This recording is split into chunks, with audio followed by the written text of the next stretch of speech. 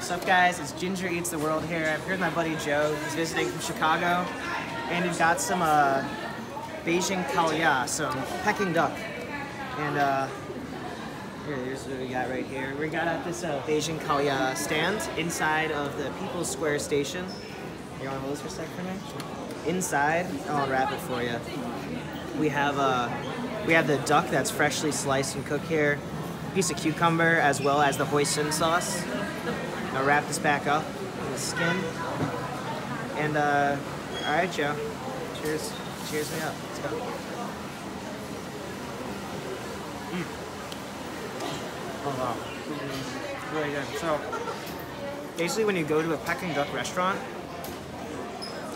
they'll give you all these ingredients separately, and you make it yourself. And here, they do it for you. It makes things a lot easier. And a lot cheaper, by the way.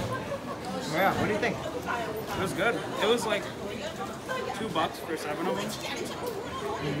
That's cheap. And what's even better is uh, the hoisin sauce. Got a little bit of sweetness, but not too much. And on top of that, the cucumber gives a nice amount of freshness. Yeah, green onion in there too. And green onion. Yes, forgot about that. Yeah. Oh. All right, well, we'll catch you next time. More videos to come.